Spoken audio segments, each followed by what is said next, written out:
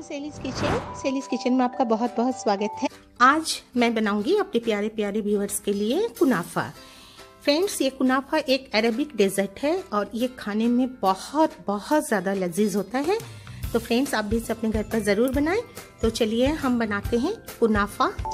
अगर आपको सेलिस किचन की रेसिपी पसंद है तो सब्सक्राइब करें सेलिस किचन को और साथ ही बेल आइकॉन प्रेस करें और लाइक करें और शेयर को बनाने के लिए सबसे पहले हम एक कप मिल्क ले लेंगे, एक हेवी बटन वाली पैन में। ये है कॉर्नफ्लावर आप अरारोट भी ले सकते हैं कॉर्नफ्लावर की जगह में ये अरारोट कॉर्नफ्लावर टू टेबल स्पून डाल दिए। इसे आप खूब अच्छी तरह से मिक्स कर लें। ये शक्कर है। शक्कर मैं यहाँ पर फाइव टेबल स्पून डाल रही हूँ। कॉर्नफ्लावर मिल्क और शुगर को खूब अच्छी तरह से मिक्स कर लेंगे। ये अब देखें आप, ये मिक्स हो चुका है। अब हम गैस का फ्लेम ऑन करेंगे। ये मिल्क को हमें लगातार चलाते हुए मीडियम हाई फ्लेम पे पकाना है जब तक ये थिक ना हो जाए। आप देख रहे हैं, ये थिक हो चुका है। देखिए इसकी कंसिस्टेंसी देखिए, ये थिक हो चुका है। अब हम चूल्हा बंद कर देंगे फ्लेम और इसे हम थोड़ी देर के लिए ठंडा होने को रख देंगे। ये मिक्सचर हल्का ठंडा हो चुका है। अब हम इसमें डालेंगे क्रीम चीज़ मैं यहाँ पर four tablespoon cream cheese डाल रही हूँ। ये बाज़ार का खरीदा हुआ क्रीम चीज़ है। फ्रेंड आप चाहो तो आप क्रीम चीज़ घर में भी बना सकते हैं। तो अच्छी तरह से फेंट कर इस तरह से आप इसे एक क्रीमी टेक्सचर आप देख रहे हो, ऐसा आना चाहिए तो इसे हम अच्छी तरह से मिला लेंगे। आप क्रीम चीज़ अगर घर पे बनाना चाहते हैं तो आपको इसका डिटेल्स डिस्क्रिप्शन बॉक्स में मिल जाएँगे। तो प्लीज़ आप डिस्क्रिप्शन बॉक्स चेक कर लें। और हमारा मुनाफा का जो फिलिंग है, वो तैयार है। अब हम चाशनी बनाएँगे ये एक कप शुगर हम इसमें डालेंगे, एक कप पानी। पानी को और शक्कर को खूब अच्छी तरह से आप मिक्स कर लें और इसे अभी हमें पकाना है। इसका हमें एक चाशनी बनाना है। इसे आप बीच बीच में चलाती रहें और ये देखिए फ्रेंड्स ये शुगर जो है, ये डिजोल्व हो चुका है पानी में। और अब हम इसे पाँच मिनट मीडियम फ्लेम पे पकाएँगे। शुगर सिरप हमारा बन चुका है, आप देख रहे हो। और अब हम फ्लेम बंद कर देंगे और इसमें अब मैं डालूँगी one tablespoon lemon juice. इसे हम मिला लिए और अब हम इसमें डालेंगे ये है rose water.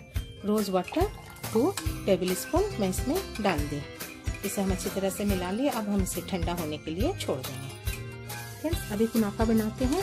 कुनाफा बनाने के लिए आप देख रहे हैं फ्रेंड्स यहाँ पर मैं ये फेनी ये लच्छा सेमई है, ये मैं ले ली हूँ, ये 200 ग्राम का है लच्छा सेमई। एक्चुअली कुनाफा का डॉ भी मार्केट में अवेलेबल है, लेकिन कुनाफा का डॉ जो है वो हर जगह नहीं मिलता है। मिडल ईस्ट कुछ स्टोर में आपको ये मिल जाएँगे। तो यहाँ मैं कुनाफा लच्छा सेमई से बना रही हूँ। आप चाहे तो सेमई से भी कुनाफा बना सकते हो, लेकिन उसके लिए आपको रोस्टेड सेमैया लेना है। और अगर आप ऐसे समय से बनाना चाहते हो तो आप आपसे लेकर आप पहले उसे रोस्ट कर लें। फ़िलहाल मैं यहाँ ये लच्छे समय से कुनाफा बना रही हूँ।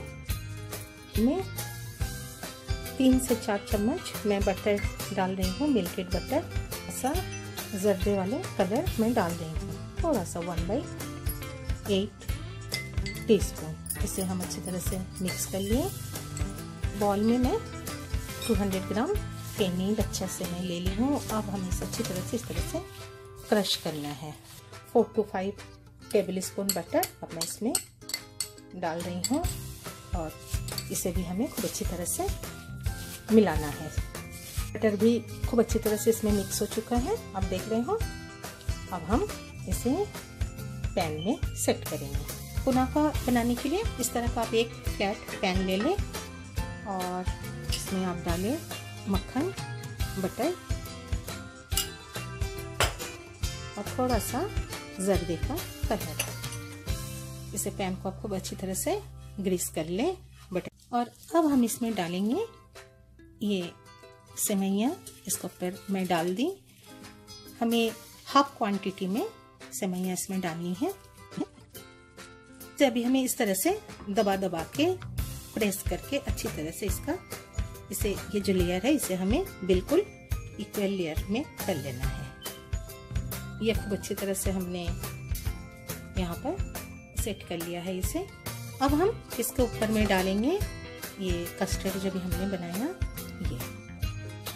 इसे हम इसको ऊपर डाल देंगे।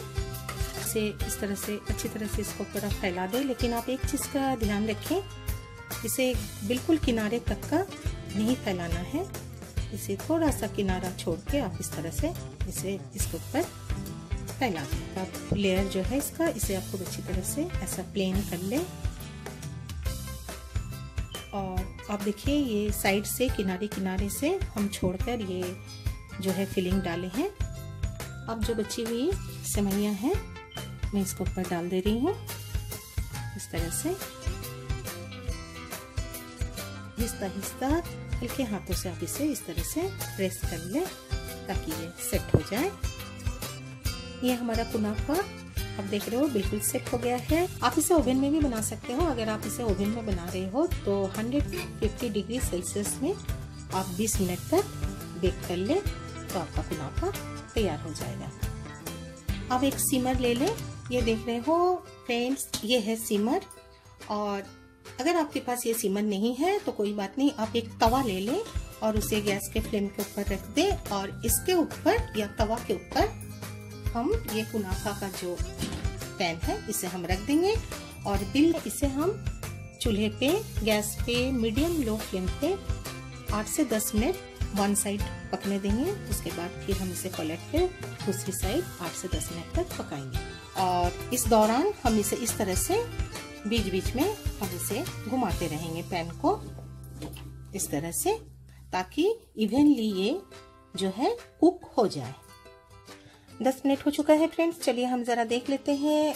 ये देखिए, आप देख रहे हो, इसका किनारे किनारे हल्का सा ब्राउन हो चुका है गोल्डन ब्राउन अब हम गैस का चूल्हा ऑफ़ कर देते हैं और इसे अब हम ज़रा ठंडा होने देंगे, कम से कम चार से पाँच मिनट हम इसे ठंडा होने देंगे, उसके बाद हम इसे पलटेंगे। अगर हम इसे अभी पलट दें तो इसका टूटने का डर रहता है। ये हल्का सा ठंडा हो चुका है, फ्रेंड्स। तीन से चार मिनट हो चुका है, और अब हमें इसे पलटना है। तो पलटने के लिए आप देख रहे हो, इस तरह का मैं एक प्लेट ले ली हूँ, और ये प्लेट को मैं इस तरह से इसके ऊपर डाल दी, और अब मैं इसे पलटूँगी। ये देखिए मैं इसे पलट दी तो मैं पलट रही हूँ। अब आप ये पैन देख रहे हो और ये पैन को अच्छी तरह से साफ़ कर लिए।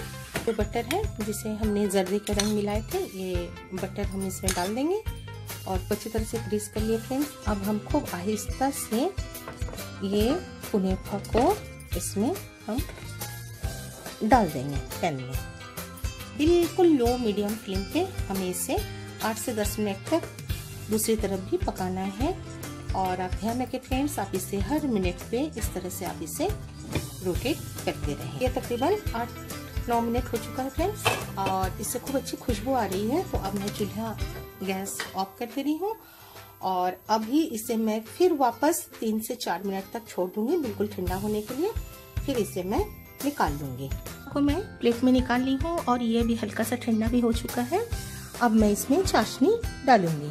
ये चाशनी अभी हम हल्के से कुनाफा के ऊपर डाल दूँगी। पिस्ता से गार्निश करेंगे। ये पाउडर कर ली हूँ मैं पिस्ता को और इससे अभी हम इसे गार्निश कर देंगे। कटे हुए पिस्ता के स्लाइस आप डाल दिए और इसके ऊपर आप एक ग्लेज चेरी डाल दें। अब हम कुनाफा को काट लेते हैं। तो लीजिए फ्रेंड्स कुनाफा तैयार है आपके लिए, आप इसे एंजॉय करें और आप जब भी कुनाफा को सर्व करेंगे तो आप उसके साथ ये चाशनी रखना ना भूलें, क्योंकि अगर आपको ज़्यादा मीठा चाहिए तो आप कुनाफा के ऊपर में ये चाशनी डालकर खा सकते हैं।